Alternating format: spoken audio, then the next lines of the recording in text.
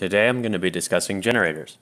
So what generators are, are they are maps created inside of Substance for use inside of Substance. That's your ambient occlusion maps, your normal maps, and things like that.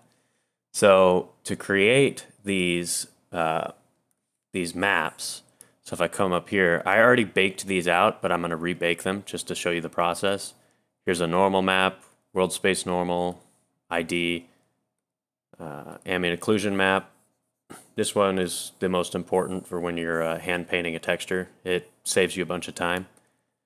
And curvature map, here's another good one. This one captures all of your rim data. So it shows this edge, this edge, these inner edges. It captures all your edge data is what it does. So what I'm going to do is I'm going to come up to here over on this panel, I'm going to click on texture settings. I'm going to scroll down. I have all these maps already made, but I'm going to delete them. And you see when I delete them, it removes the effect because it needs a map in order for the effect to work.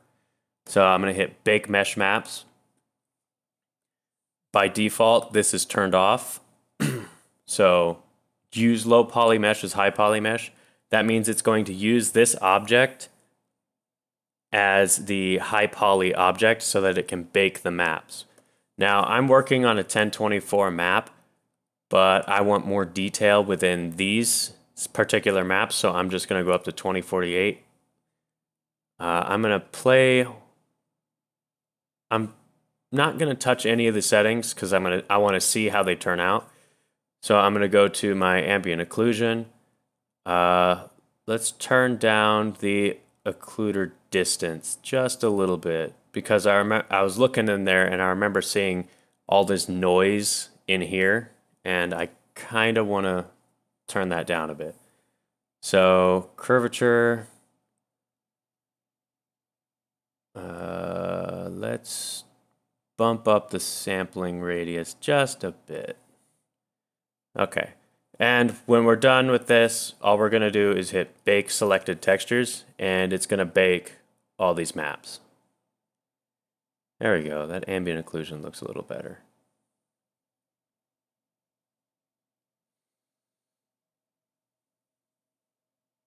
And it's to bake for how many materials that I have, it's to bake a map for every single one. So this can take some time depending on how many objects or how many materials you're working with inside of Substance Painter. So now you see that I had, I baked my ambient occlusion maps.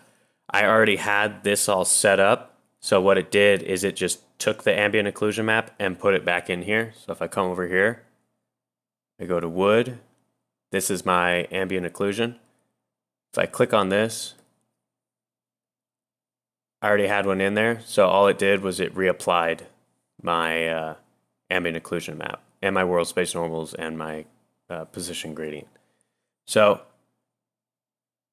now I'm going to show you how to create one of these, one of these layers. So I'm going to come up here, I'm going to just click on wood and I'm going to hit fill.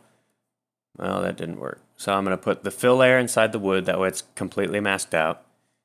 And I'm going to change this color to red. That way you all can see what it's doing. So I'm then going to add a black mask. I'm going to right click on the mask. Make sure you have the mask selected. Right click on it. Go to add generator and then select your generator. Now here is all of the generators that you can get. I, I can have drippings, dirt, curvature, ambient occlusion, fiberglass. You can have all of these uh, these uh, procedural generators. So now I'm just going to click the ambient occlusion. The curvature, if I clicked on curvature, what it would do is it would it would capture this line data here and it would use that instead. Although, because this has no. so, curvature is anything that's convex, and ambient occlusion is anything that is concave. So I'm not going to use the curvature map. Uh, oh, I'm not going to use a curvature generator. I'm going to use the ambient occlusion. And as you can see, it just opened it back up. But that's because I have to hit global invert and invert it. So now it's using the the proper settings. So if I play with the global blur, I can soften this thing out. And global affects your entire, like the entire map, uh, or the entire. It, it works within the um, the world's. I want to say it's the world space normals map. I'm not entirely sure. But all I know is that the ambient occlusion that it works in is entirely on this map alone. So this is where I can get most of my work done. So I can bump up the contrast, get rid of some of that noise, make it hug the edges a little bit more. I'd say right about there's pretty good. Uh, bump up the blur just a bit, play with the balance. Let's bring it closer to the edges. Okay. Yeah, I could also invert it here. Global invert works well enough. Uh, now what I'm going to do is I'm going to, and say I don't like the red, I can always come up to my fill layer. First, I'm going to turn off the materials settings. I'm going to turn off the height, the roughness, the metalness, and the normalness, normal matte, because I, I only want this to affect my color. When you're working with ambient occlusion, it only affects your color, or it should with this, I'm going to change this color to a dark green. See how that looks. I'm going to click on the ambient occlusion generator, uh, play with it a little bit more. And there we go. I'm going to say that's good. Uh, what you can now do is you can come up here again. Say you didn't like where it was putting the mask, you could come up here and you can add a paint layer. And working in white, I can decide where I want the ambient occlusion or this to be masked. So what I'm going to do is I'm going to turn on symmetry and I'm going to fix this because I want a little bit more to show up along here and along here.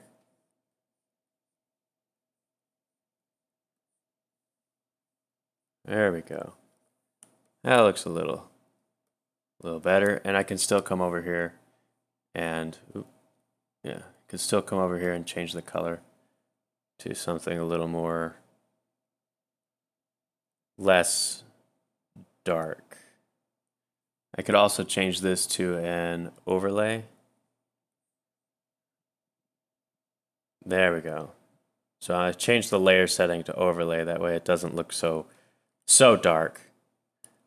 So now I'm going to come back to over here to my paint and I'm going to just keep painting where I want this color to be.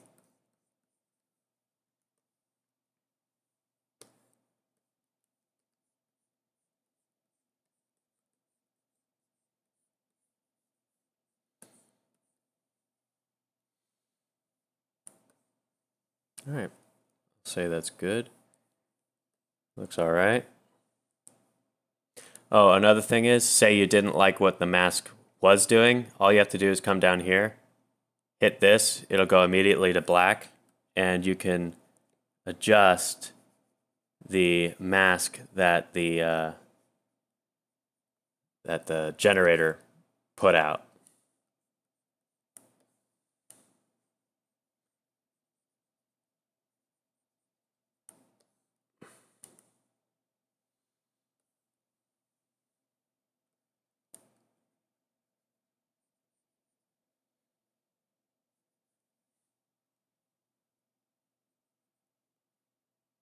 Good enough. Yeah, I'm gonna say that's good enough. So that's basics for generators.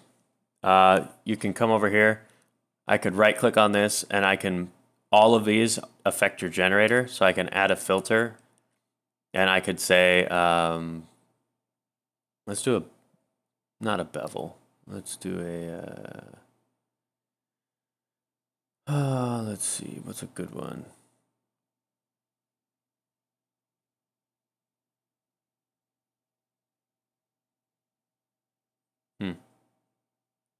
Do an invert. So I can invert it. All this does is this affects the mask. And also layer order is kind of important. So if I put this under the paint layer, if I put this on the bottom, it'll only affect those beneath it. So I could have put the paint underneath this one to affect this mat, and it would only affect this mask. So all of these are affecting this mask,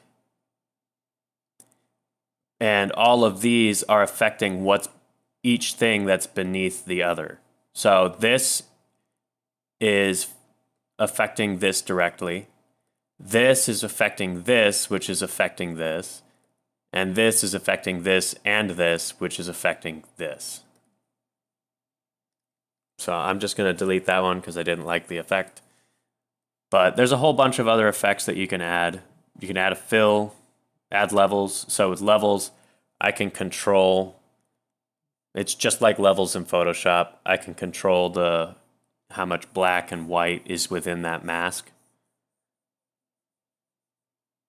But it's kind of like working in the contrast. It's kind of like working with the balance and contrast in here. But if you put levels up here, it'll affect your paint and ambient occlusion. If I just put it here, it'll just affect this one. So I'm going to delete that one. So yeah, that's the basics of generators.